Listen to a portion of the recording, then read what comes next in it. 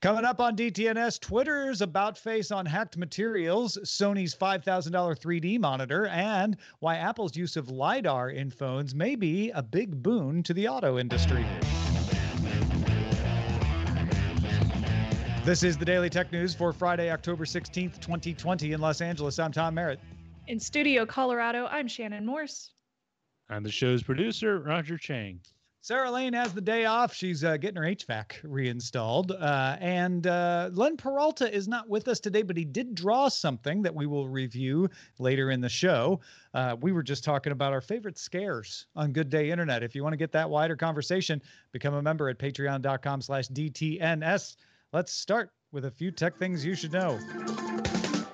Google announced it will migrate all existing Google Hangouts users that means the hangout that you chat in, not the video one or any of the other ones, just the one you chat in. You're going to go to the now free Google Chat starting next year. They're giving you lots of notice. Chat will be available in Gmail and as a standalone app. Users migrating from Hangouts will retain your conversations, your contacts, and your saved history, and Google will give at least four weeks' notice before each phase of the migration to chat. Ars Technica sources say GameStop will receive a percentage of the revenue from Xbox transactions, including game on any Xbox console it sells. It's unclear what the percentage is and whether it applies to used consoles resold by GameStop. All right, Jon Prosser's at it again. His sources say Apple may hold another special event, a third one, November 17th. This one would be to introduce the first Macs running on Apple Silicon. Now, Prosser doesn't have a perfect record on these things, but he did accurately forecast the October 13th iPhone event. And Bloomberg also reports new Apple Silicon Macs are expected in November. So triangulate that, we might get a third Apple announcement. Software security company Tripwire's vulnerability and exposure research team uncovered a stack based buffer overflow bug inside SonicOS. Sonic OS is installed on almost 800,000 VPN appliances from network security company SonicWall. The flaw can be triggered from the WAN side by an unauthenticated HTTP request involving a custom protocol handler letting an attacker cause a persistent denial of service condition. And Google added a hum to search feature on the Google app and Google Assistant. Uh, letting users identify a song just by humming, whistling, or singing it. Users can select a song, search button, or just ask Assistant, What is this song? and start humming.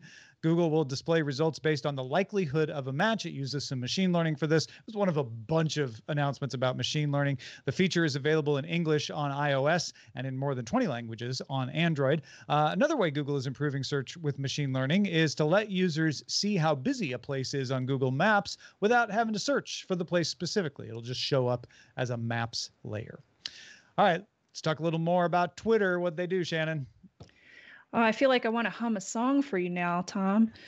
After criticism of how Twitter applied its hacked materials policy to sharing a New York Post article about Hunter Biden, the company announced Thursday evening that it would change the policy. Twitter's trust and safety lead, her name is Vijaya Gadde, wrote it would no longer remove hacked content unless it is directly shared by hackers or those acting in concert with them. And Twitter will, quote, label tweets to provide context instead of blocking links from being shared on Twitter. Now, Gadde also wrote that the policy is originally applied could result in unintended consequences to journalists, whistleblowers, and other contrary to serving the public conversation. Friday morning, Twitter CEO Jack Dorsey wrote, quote, straight blocking of URLs was wrong, and we updated our policy and enforcement to fix. Our goal is to attempt to add context, and now we have capabilities to do that. The U.S. Senate Judici- Judiciary Committee plans to subpoena Dorsey to appear October 23rd and testify about that removal. Yeah, so a lot of moving parts on this. Uh, it does seem like uh, the the policy will be changed so that they wouldn't be blocking URLs to respected outlets in the future. So, you know, the New York Post story would no longer need to be blocked. And in fact, I tested this earlier. I can post that New York Post link and it doesn't give me the warning of like, oh, you can't do that here. So they have changed that. Uh, I haven't seen the actual uh, text of a new policy yet. I'm very curious how they word that. All we have to go on is Vijaya Gadde's uh, Twitter posts about this, and her wording is close to what they're going to do but i would i would want not want to parse it too closely because it's just her saying this is what we're going to do and i want to see the actual words of the policy. But it feels like what they're trying what they're aiming for is we don't want people coming onto twitter post doxing people uh, and we don't want you linking to like scribd uh, you know and and and to documents that dox people. But a new york post article about something shouldn't qualify. So they're they're trying to draw the line there. Uh, I you know this is already out there. People are already upset. This is not going to uh, make people less upset. But to my way of thinking, it is the the right thing to do. They they looked at they apo- applied their policy literally, realized that was unreasonable, and they're adjusting the policy. Very curious what that policy ends up being. Uh, it doesn't mean they're not going to run into this again because the definition of who's a hacker? Who's someone working with the hacker? Isn't the new york post working with the hacker in this case? Or because it's not an actual hacker is that why it doesn't count? So wh- how do you qualify what a hacker is? Chelsea manning a hacker? What about edward snowden? Is it that you can only have the new york times write an article about edward snowden links but you couldn't leak directly to them? What about whistleblowers? We mentioned DDoS secrets had been banned yesterday. They have not been unbanned under this policy. They are still banned. Uh, Shannon, how's the hacker community reacting to this? I love that your reaction to this was I need to see the policy and how it's written because that's exactly what I was thinking too. Like, what is their description of a hacker? For example, the InfoSec industry, kind of as a whole, I watch a lot of what goes on on Twitter, what the trends are within the industry. And a lot of people were retweeting Vijaya and saying, oh, so I guess I can post leaks again now? Great. And it's so funny because that's just been an ongoing thing. People have always posted leaks on Twitter, whether they're third party or they come from another website. And that kind of makes it very, very pointed in that.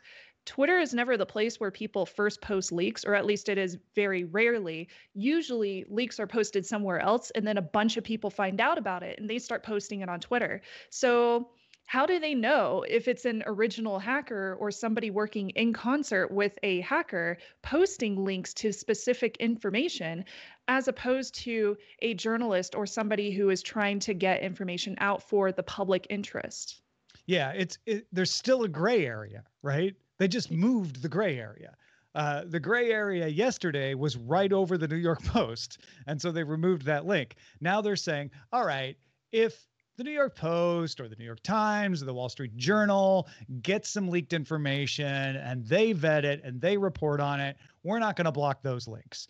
We are going to look at links that are that look like they're directly coming from somebody or somebody working with them. Again, I'm very curious how they define that. So now that's the gray area. The gray area is like, well, how do you define directly and how do you define working with exactly? But, so do, do you think that, down the road, right? Do you think that they're going to have like a specific list of outlets that they allow certain publication or certain information to come out of or certain journalists to be able to post. Maybe this could be a part of their verification for the blue badge. I don't know. I'm trying to figure out a way how they're going to choose what gets posted and what doesn't. Right because it's it's i don't think they'll have a list. Uh i i think they'll just say you know, if it seems like it's coming directly from the person who doxed somebody or hacked somebody, uh, that's the problem. And then yeah the fight will be not no longer over the New York Post. It will be over One America Network, or it will be over maybe not Huffington, but I, I can't think of a good example on the other side. But but but something that's a little more controversial, or maybe it'll just be over Scribd. Uh, maybe it'll just be over you know direct links from from hmm. non-journalistic mm. entities. But how do you define a journalistic entity? Like I think the New York Post is now firmly on the okay side, but what about those ones on the edge? What about the upstarts, et cetera? So exactly. Yeah, very curious. All right. Uh, Ars Technica's Timothy B. Lee has an excellent explainer up on the LiDAR sensor in the new Apple iPhone Pros and the effect it might have on the auto industry. Uh, first of all, go read Timothy B. Lee's article. It's excellent. It'll give you a much fuller understanding. But I want to hit on some of the high notes here. Apple first introduced LiDAR in the iPad in March. So this is the second implementation of LiDAR in an Apple device. If you don't know what LiDAR is, I'm going to do a Know a Little More episode about it. But for now, uh, it used to stand for light and radar. It's been retconned into a bunch of acronyms, but it's essentially sending light, laser light, out and measuring how long it takes to reflect back. And that lets you estimate the distance. Uh, and then you can create a point cloud map of of objects in range of the light, and that gives you a 3D representation of what's around you. The iPad's LiDAR, uh, which we assume is probably the same, but nobody's gotten hold of an iPhone Pro yet. So, but the iPad's LiDAR uses something called a VCSEL. Uh, vertical cavity surface emitting laser, VCSEL, made by Lumentum. Uh, it's a fancy way of saying that the laser light emits from the top instead of the edge of the wafer, and that makes all the difference. Uh, that is combined with a single photon avalanche diode or SPADS uh, from Sony that senses the returning of the light. So the VCSEL sends out the laser light and the SPADS uh, receives the light. Lee has been working on a story about how this pairing is being developed by companies for the automotive market because at scale, it becomes a lot cheaper than other LiDAR systems. Apple joining the crowd is going to speed up that process because now you got a bunch more orders, right? And that scale for the people who make these becomes easier to meet. The system is cheaper because the parts are cheaper. The VCSELs are already used in mice, optical networking, et cetera. They only recently became powerful enough to be considered for LiDAR use. VCSELs are cheaper because, as we mentioned, the light comes from the top, not the edge. So you don't have to cut the wafers. Uh, that means you can put a lot more VCSELs, up to thousands, on a silicon chip, which brings down the cost per unit. And SPADs are affordable too, since they can be made using conventional semiconductor techniques, and you can pack thousands on a single chip there as well. Of course, the Apple LiDAR has a range of about five meters. That's all you need in a phone or an iPad, compared to the more expensive automotive LiDAR, which needs to have a range of at least 100 meters, if not 200 or more. And the more powerful LiDAR systems that are used in automotive use spinning gimbals. Even if they're using a VCSEL, they're using a spinning gimbal to be able to extend that range it expands the precision too, but it also raises the expense, even though they're using fewer VCSELs than they are in the iPhone. Car companies like Tesla don't even use LiDAR. Uh, Elon Musk is on record uh, very vociferously talking about how it's just too expensive and it'll never work. Uh, companies like Ouster, Ibeo, and Sense are trying to push the performance of VCSEL and SPAD combinations to rival more expensive versions. Uh, if they can get the range high enough, which they think they can, then Apple helping push the price down with all of these high uh, amount orders could bring low cost lidar to more cars. So not just auto, uh, auto autonomous cars but but also to driver assistance uh, systems like the tesla autopilot but there's ones in other cars like bmws and audis and fords and all of that. Um, i found this fascinating to know that oh okay so the lidar in the apple phone. We, we still don't know exactly what it's going to be used for or what it's going to be best for. Could it definitely improves on Face ID? I don't know if they're going to get rid of the depth sensor. It doesn't look like they are. Uh, but just having it in there means that we're going to have more affordable lidar and therefore more affordable 3D detection in our cars. Shannon, I know I know you've uh, spent a lot of time with lidar, the the more expensive version. Yeah, I'm a I'm kind of a dork when it comes to lidar, and it's because um, maybe a year ago or so, I got the chance to check out Waymo in Arizona. They invited me as well as a few other YouTubers down to actually experience firsthand how these automated cars are using lidar as well as machine learning and AI to be able to determine what they are seeing with these lidar sensors. So they take in all the all, the little laser lights all the little spots that you get from these VCSELs and all the different technology. They combine it and then they turn that image into something that's uh, that gives definition to each item within the image. So if it has if the lidar thinks that it sees a person, it'll bring that into machine learning and AI to determine if that's actually a person and does the card need to slow down or does it need to turn or does it need to stop? And it's able to determine this information in order to give you a safer environment to be within that vehicle and not feel more secure without having somebody else in the car with you. Um, but it's not only car technology that we've seen lidar in and after i got to experience it i kind of went really deep into learning as much as i could about it. You have them in drones. Uh, drones are currently using it for geospatial um, uh, measurements to determine uh, like architecture and how an environment is mapped out. For example if you've seen the curse of oak island which i'm also a nerd for uh, mm-hmm. that entire island has been mapped out with lidar and you can look up the images online and it is so fascinating so seeing all this commercial aspects of lidar everything which has cost thousands and thousands of dollars in fact it's like $75000 average for commercial use seeing it drop down to an ability for users to use this in an Apple iPhone or an iPad is just so fascinating to me. And I can see many ways that hopefully this will drop down the cost for commercial use cases because it, it might make this technology evolve a lot faster than what we're currently seeing.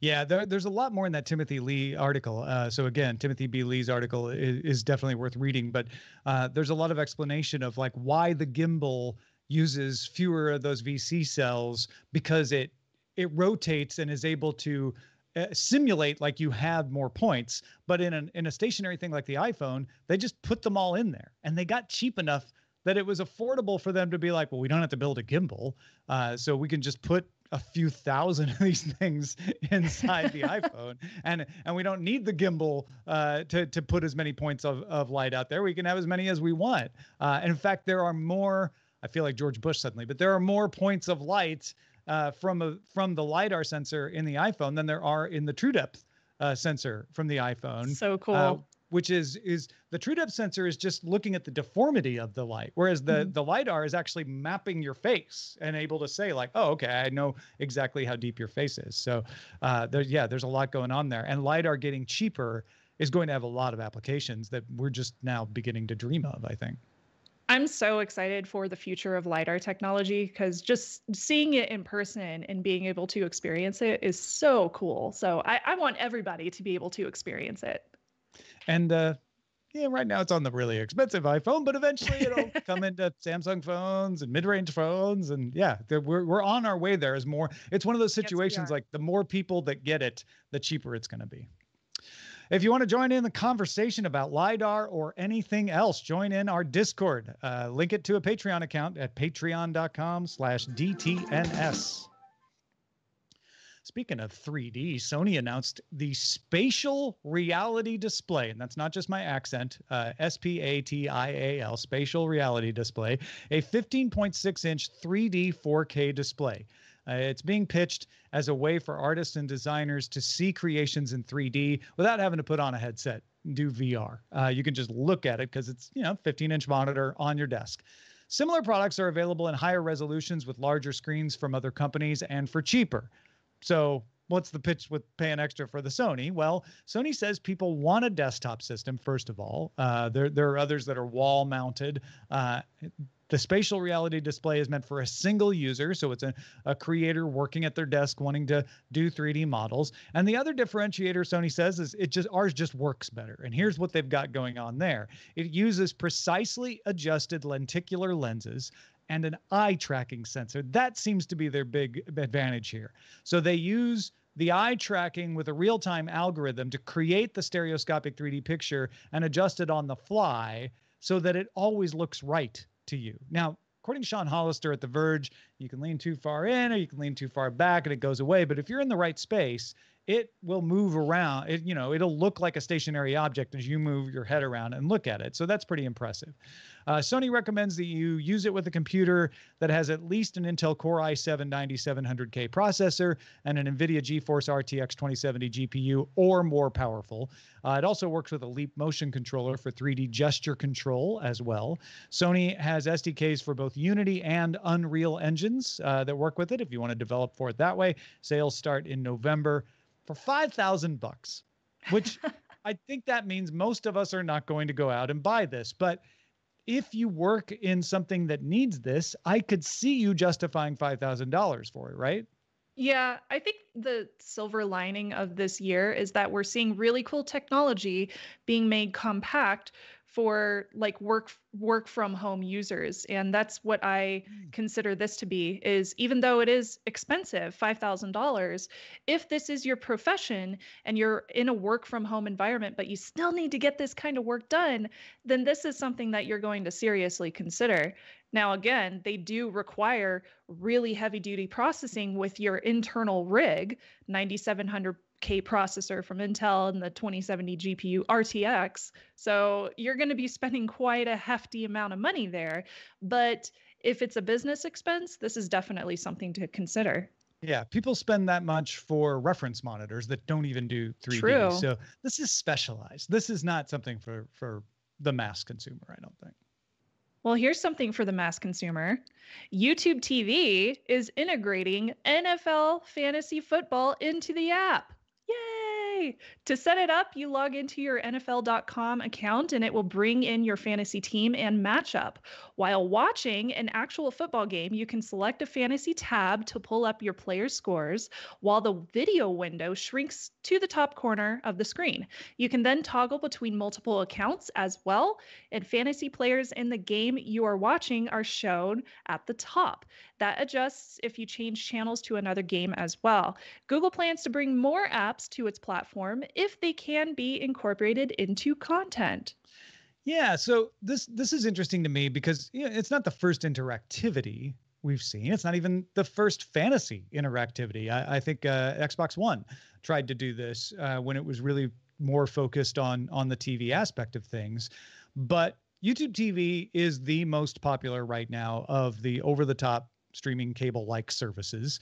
Uh, they have football because they have your local channels. And so they're tying into something popular. And I think that that's interesting. This idea of bringing, they're calling it an app, but it's really just a cloud service into what you're watching, I think is really compelling. And you may not care about fantasy football, which is fine. So this is not the thing that's going to get you into it but imagine other uses for it. I, I can imagine something like Amazon's X Ray uh, being implemented from IMDb. What if you could integrate IMDb and then you could always like, you know, tap in uh, with your remote or, or on your tablet or your phone and and be able to just touch the screen and say who is that right and be able to tell from image recognition or something like that. Um, I, I I don't know. I feel like there's other uses that I'm not thinking of here. Oh yeah, I, I was thinking about like political debates. What if you were Mm. watching a live political b- debate and then an application built right into it was able to give you like real-time fact checking, or maybe you could see real-time opinions from your favorite news sources, or even if you're watching like um, a competition show, like a singing competition show, and they allow votes from the audience. It would be cool to integrate something like that, or something Yeah, that you could vote right from the screen. Not only just see the voting, but yeah, yeah. yeah, not just like texting to vote, which we've seen on tr- traditional cable television, but yeah. In the application. I think that would be really useful and really fun for people to be able to interact, especially since we're all stuck at home still this year. I mean, I could see all sorts of different integrations that they could do for live TV. And I'm a cord cutter and I don't even watch live TV. I don't l- even do any kind of NFL, sports ball, football stuff, but this is really neat for the future. Yeah, I think anything that you use on your phone while you watch TV and have an account for is a possibility for for them to integrate uh, here. So that's that that's that's something I'm I'm looking forward to to seeing new things come out of. Storm right, before we- and Weather Channel. Yeah, I was thinking about Weather Channel because so like they can customize Weather Channel to your location, but they don't always get it right. Or what if Yeah. you're traveling and you want to be like, oh, I'm going to be traveling to Hawaii, so not not only put my local weather up, put put my destination weather up. Uh, before we finish up, uh, robots down on the farm is one of my favorite beats, and we have news today. We do. Alphabet's X has unveiled a prototype robot as a part of Project Mineral that can inspect plants to help farmers improve yields. The robot buggy rolls around on four pillars, so the rollers are in between roll- rows, and the robot can be above the plants. In trials, it was able to count things like number of beans, plant height, leaf area, and fruit size. It can also study soil and other factors to combine with weather and other environmental data. A machine learning algorithm identifies patterns and creates predictive models. Project Mineral has analyzed strawberry fields in California, soybean fields in Illinois, as well as melons, berries, lettuce, oil seeds, oats, and barley. Project Mineral is working with breeders and farmers in Argentina, Canada, South Africa, and the United States. There is no timeline on a commercial product. Ah, soybean fields in Illinois. That totally hooked me because that's that's where I grew up. Uh, I everybody talked about corn in Illinois. I'm like, that's up north. We uh, we all do soybeans down here in Bond County. Uh, but yeah, the idea that the robot can walk the beans for you uh, and and provide way more specific data. Uh, there, there's a lot of efforts in this field. This isn't the only one. It's certainly not the first, but they all have that holy grail of being able to tell you, like, oh, you need to be able to water uh, more in this exact area or or there's there's a fungus coming in in on these two plants. If you if you get to it now, you're going to be able to stop it. Stuff like that is is the the holy grail of bringing yes. data into the farming life, and this is this is just one of the projects doing it. I was thinking it would be so cool if they were able to implement this up in uh, California wine country mm. and be mm. able to use this on grapes to be able to tell them what kind of volume they need to grow their grapes at and what kind of watering definitely. they need to do. Like, oh man, I can't, it would be amazing all the bottles of wine we'd be able to get out of that. yeah, because the, the whole point is to increase the yields. And, yeah. and, and farming is such a low margin business. Even if this, increases the yield by just a couple of percentage points. That's huge for farmers, right? It would be so big. All right, uh, let's check out the mailbag. Uh, Squinty wrote in. This is how Squinty calls themselves Squinty. Uh, that's how they signed their email. Uh, says, "Hi team. Okay, Today's show with Peter Wells, you made reference to visually impaired when talking about the Seeing AI app from Microsoft. I'm legally blind and was emceeing an event for Guide Dogs Western Australia when I stated to others that are also blind that I was visually impaired, to which they laughed and asked if I was ugly. Confused, I asked what they meant, to which they said, We are vision impaired, not visually impaired. Ugly people are visually impaired. I, and, and if I may interject, I think what he's saying is like the visual of you is impaired would imply like, oh, it's not pleasant to look at you, but their vision is what's impaired. Uh, anyway, Squinty said, I was just amused listening to the show today, so I thought I would share. When talking about blind or low vision people, it's vision impaired. Now, that is not the standard. I went and checked. Uh, most places have not caught on to this yet, Squinty, uh, but I am 100% a supporter of that. I, I'm curious if you consider yourself either visually or vision impaired. Uh, what do you think uh, of this? Because because I'm willing to switch. I think that makes sense to me. Yeah, it makes sense to me too. I should ask my uh, my my sister-in-law because she works at a school for the blind, so hmm. I should get her opinion. Yeah, just uh, like like pull pull the audience and and see if they're into it. All right, folks, uh, keep those emails coming to us. Feedback at dailytechnewsshow.com. I also wanted to give a shout out to patrons at our master and grandmaster levels, including Erwin Sturr, Pat Sheeran, and John Atwood. Thank you so much. Now, Len couldn't be with us today because he's got his secret meeting going on. Uh, good luck with your meeting, Len. But uh, he did draw something for us around today's story. In fact, the, the past couple days' stories, the the uh, Twitter and Facebook New York Post story. So uh, check it out at lenperaltastore.com. You can see his his uh, his art. Uh, and it's it's another one of those great Len editorial cartoons uh, where you, you he really captures the spirit and the and the anguish around this story. So uh, go check it out, lenperaltastore.com, or if you're a patron, you will get this uh, as part of your patronage at patreon.com slash len. Thank you, Shannon Morse. Uh, always a pleasure to have you. Anything new to tell people about? Uh, yeah, check out my review of the Google Pixel 5 over on my YouTube channel, youtube.com slash Shannon Morse. It's Techtober, so there is a lot of phone reviews coming out right now. Yeah, that's right. No, no kidding. Uh, tons of those. Uh, also, patrons, did you know your ad-free RSS feed can have just DTNS or just GDI or both? I ask this because some of you in our survey seem to be unaware of that. Uh, check your tier on Patreon to see if it says DTNS, GDI, or all. And if you want to change, just change tiers to the one that says what you want, either DTNS, GDI, or all. That's at dailytechnewsshow.com slash Patreon. We're live Monday through Friday, 4.30 p.m. Eastern, 2030 UTC. You can find out more about that at dailytechnewsshow.com slash live. Back on Monday. Sarah Lane has next week off, but we'll have David Spark, and he's going to play a security game with us. See you then. This show is part of the Frog Pants Network. Get more at frogpants.com. Diamond Club hopes you have enjoyed this program.